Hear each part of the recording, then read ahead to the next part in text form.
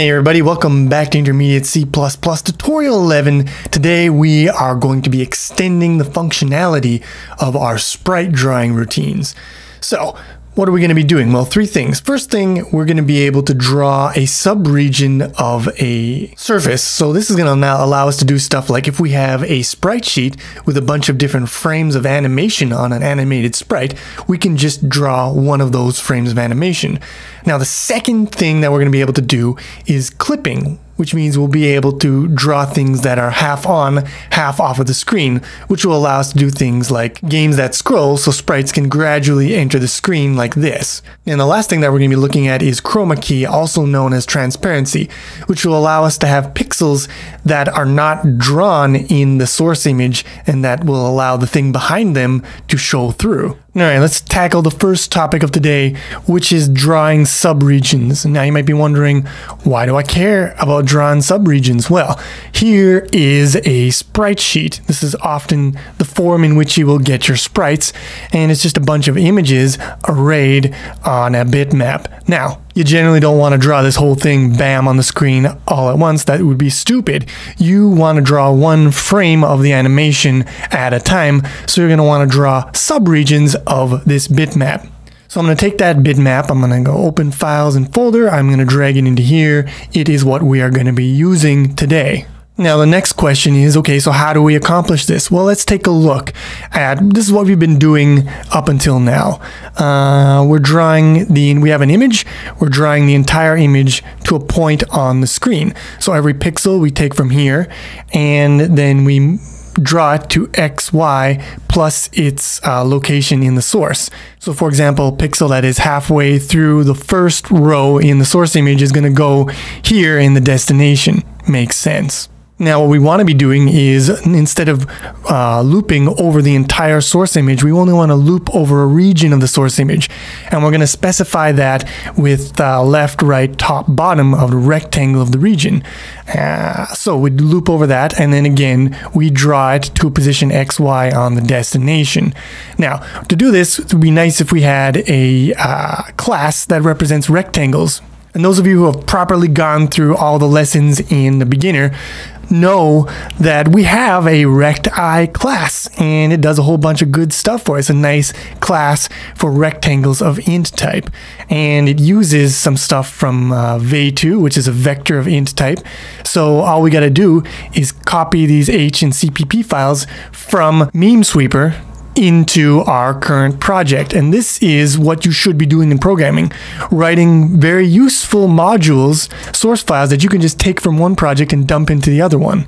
So copy that, open up the project folder for Sprite and paste. Then while we still have that stuff selected, drag into our project and there you go, all that stuff is in there. Now we want to write a drawing routine that only copies subregion. So drawing routines are in graphics.h. Our routine is going to have a parameter of recti, so we want to include recti. It's going to be called draw sprite.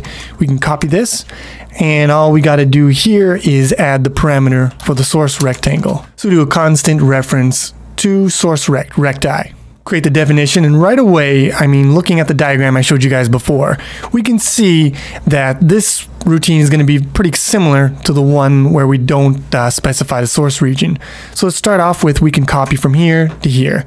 Uh, now we don't need the width and the height because we're not going to be looping over the entire image. We're only going to be looping over the part that's specified by the rectangle. So SY is not going to be from zero to height. It is going to be from sourceRect.top to sourceRect.bottom, and the same deal is going to be for X. Only it's going to be moving from left to right. Now you might think that's done it, but this is actually a big problem. So to calculate the uh, the destination on the screen, we do x, which is the starting point of the destination, plus sy. And that works fine if your sy happens, or sx, sy. That works fine if your xx, xy happen to start at 0, because then the first pixel is going to be just at x, and the next one's going to be x plus 1, x plus 2. But what if you start at a position that isn't 0, 0?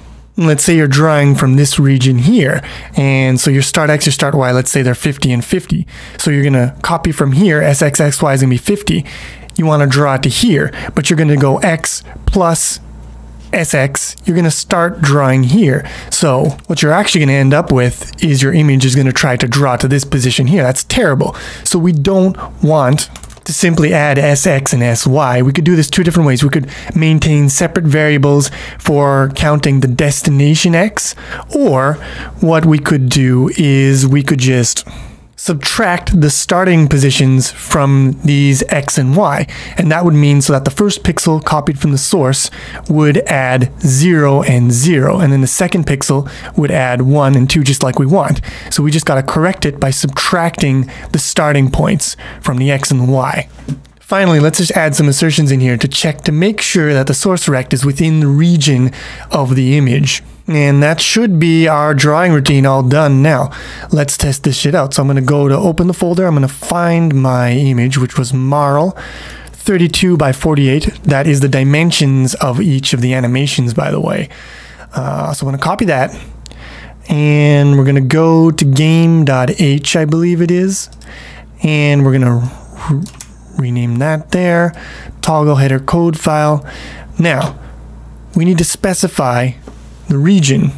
So let's specify one of the, uh, the sprite frames. So what we should have is 32 left, right is 64, then top 48, and the bottom is 96. Build that.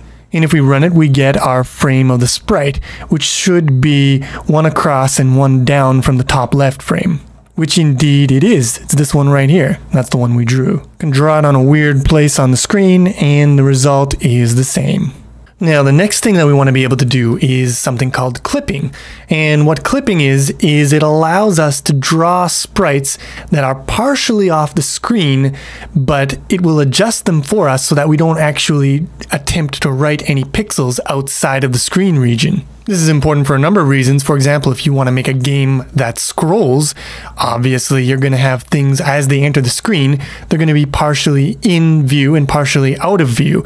And you want to make sure that the out of view stuff isn't drawn on the screen because if you attempt to draw outside of the screen region, obviously you're going to have a bad time. Like if we try to draw Marle with a negative value for X here, you know what happens, you get screwed.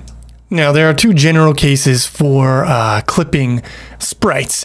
I got the top left case and the bottom right case. So let's look at the top left case first. So we've got a region here that we're going to want to draw to the screen, but we're drawing it at negative 10, negative 10. So part of the sprite is going to be going off the screen. Now, obviously, it doesn't take much to understand that we only really want to draw this part of the sprite. So we only want to draw this which means we really only want to draw this subregion here. Uh, so what we do is first off, we don't, we don't, we don't want to draw negative 10, negative 10 ever. So we have to adjust this so that it's on the screen. So we adjust the X and the Y to be 0, 0. If it is past the left-hand screen, we adjust it to 0. But every so let's say we adjust it by 10 in this direction. That means we have to adjust this rectangle by 10 in this direction to get the sub-region that we want to draw. So for every adjustment we, we make in the uh, destination, we've also got to make a similar adjustment in the source. Now the situation is similar for the bottom right, but it's actually a little simpler.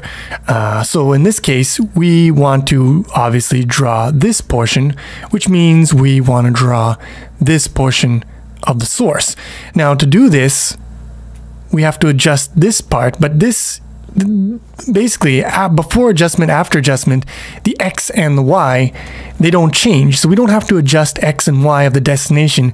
We've only got to adjust the rectangle here. So if it's hanging over the right by say 10, you would subtract 10 from the right here. Same for the bottom, you would subtract from that, and that would get you your proper rectangle to copy over to here, and you won't be going off the screen.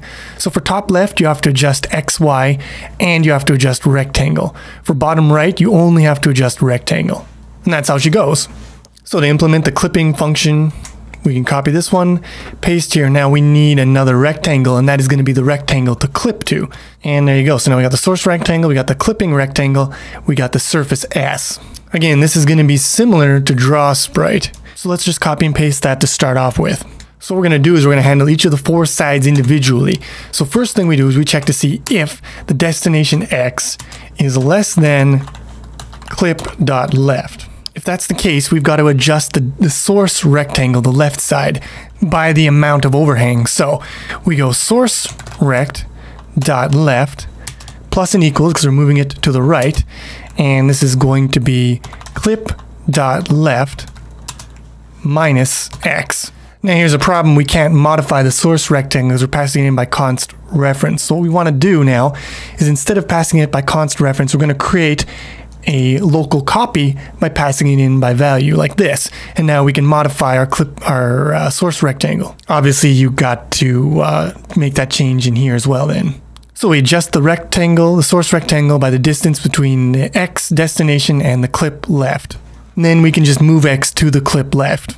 Then we do the same thing, but in the Y direction. Now we have to handle situations for the bottom and the right. Now we got to check to see whether this X is greater than this X, which is the, this is just the clip region, our clip rectangle. Now this X, we don't have it directly, but we can calculate it based on X plus the width of the source rectangle. So we add the source rectangle to this X to get the right side of the destination. Source rect dot get. Hmm, seems like our recti does not have get width and get height, so let's fix that. So those are implemented like this, and now we can do get width. So if x plus get width is greater than clip dot right, we want to subtract the difference from the right side of the source rectangle. So we go source rect minus and equals, and it's going to be x plus source rect dot get width minus clip dot right. There might be some way we can, you know, simplify this expression, but it doesn't matter. And it's the same deal for Y, only we replace the X style things with Y style things. And there you go, we should have her all done now. Let's uh, give her a test. Now, normally for the clipping rectangle, you would specify, you know, the uh, the screen region, but you could specify anything you like. So let's specify, I don't know, let's see, it's left, right, top, bottom. So let's specify uh, 100, 300, top is gonna be 100 and 300, so square region in approximately the top left part of the screen. Now for the XY, I'm going to use the mouse position so the, the sprite is going to follow my mouse pointer, hopefully. Let's give it a shot. So you see nothing here. Let's move the mouse down. Now you see it clipping out of the clipping region like this, into the clipping region, out. And there you go. Beautiful. You got shit that can scroll off in any kind of uh, clipping region you want. Now, usually the clipping region that you want is the screen region. So let's add a little function in here. We'll make it a static function, recti get screen rect mate. That just returns a rect based on, you know, screen width and screen height. And that'll make our lives a little easier. Now, if we want to clip based on the entire screen region, we can just do like graphics dot get screen rect. And there you go. Now we're clipping to the screen. And nothing could be easier, my friend. No problem. Now, I just want to say this is important that you understand this shit. It's important that you try it out for yourself. Don't just watch me and say, ah, that's easy, I got it. No, do it yourself. Make goddamn sure.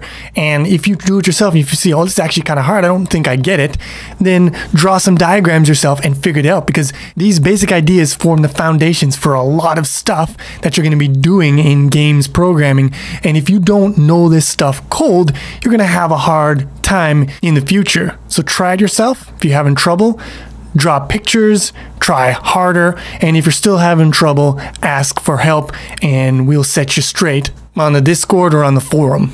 All right, now before we move on to the last task, I just want to do a little bit of cleaning up here. So first of all, we're going to go into surface.h. We're going to include recti.h. We're going to add a function getRect, and we are going to implement it thusly. Now, the thing I don't like is we have three different implementations for drawing sprites, and I like to whittle that down to just one central place where we're doing our code. That way, if I change the way something works, I don't have to change it in a bunch of different places. So draw sprite here can just call draw sprite with a source rectangle, and what it does is it calls s.getRect to get the source rectangle, which is the entire surface, and then it just calls our subsurface drawing one. Similarly, the function that we call without the clipping rect uh, all it needs to do is call get screen rect uh, from graphics and use that as the clipping rectangle and just call this guy the clipping function. And here the clipping function will now work for, it'll do all the work for all these different versions of draw sprite. We could also make versions that take V2 instead of X and Y, but I won't worry about that here. Now, this system is great if all of your sprites happen to be rectangular in shape, but usually they're not. Like our Marle sprite here, you know, it's got a lot of curves. She's got a lot of curves to her, baby. MacBook Pro, baby. So when you're drawing the sprite, you just you only want to draw the curvy bits for Marle. You don't want a giant block that just blocks out your background. So how do we solve this problem? Well, I mean, if you look at it, the background is all a single color. It's all magenta, the shittiest of all colors. So what we can do is when we are drawing the sprite, we can do a little test and see if a pixel is of a certain color. And if it is of that color, then we say, no, fuck it, we're not drawing that shit. And that is called chroma keying. Chroma means color. So what I'm going to do is I'm actually going to rename all these guys here to draw sprite non-chroma. Uh, and the reason I'm doing this is because it's more common to draw sprites with a chroma key than without it. So I want the, uh, the more common version to be shorter. So let's just uh, copy and paste this stuff into here. And now we can create our new version, which is just going to be draw sprite. And this one is going to take another parameter and we're going to call this one color chroma. And let's give it a default value of colors magenta because that's the that's the color I like to pick for my chroma key because it's the shittiest color of all. And the thing about chroma keying is whatever color you pick, that color will never appear on the screen. So don't pick a color like pure white because that's a color that's probably going to show up in your sprite. Pick a color that is probably not going to show up. And you might say, well, shit, I'm going to lose a color, but you got 16 million colors. You can give one up for the chroma key. Now, the chroma key is going to be pretty much identical to your draw sprite non-chroma, except before you do your put pixel, for every pixel, well, first you're going to go constant color uh, source pixel is equal to, and we'll just cut this guy out here, paste him in here. So first you load your source pixel, then you test your source pixel against the chroma. If source pixel is not equal to chroma, then you draw the pixel. You call put pixel and you call it with the source pixel. Otherwise, you do nothing. Now we have a problem here, and that is that source pixel or the color class does not have the not equals operator. So let's go to color. I'm going to collapse this to definitions and we see we have assignment operator, but we don't really have uh, comparison. So let's give it some comparison operators.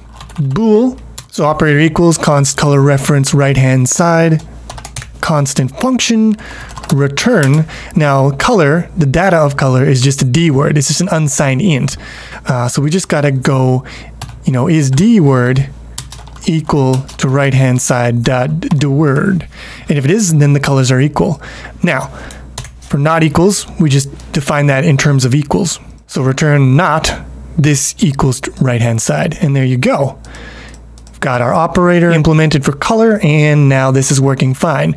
So this should be our draw sprite function with our chroma. Now, if I build this, it should just work. Let's try it. And here you go. Now you've got Marle, and she ain't stinking the place up with her magenta stink lines. It's beautiful. It's a thing of beauty. Let's make some extra versions for the chroma. So here are the overloads that don't take clipping or source rectangles and we implement them like this, just like we did for the non-chroma versions. And that's going to do it for today's tutorial. For the homework, what I'm going to get you to do is go back to the good old Poo game and replace all those bullshit put pixel compiled sprites with proper bitmap sprites. And all the graphics that you're going to need will be available on the wiki in a zip file. As always, thanks for watching. Hope you enjoyed the video. If you did, please click the like button. It helps a lot. And I will see you soon with some more C++.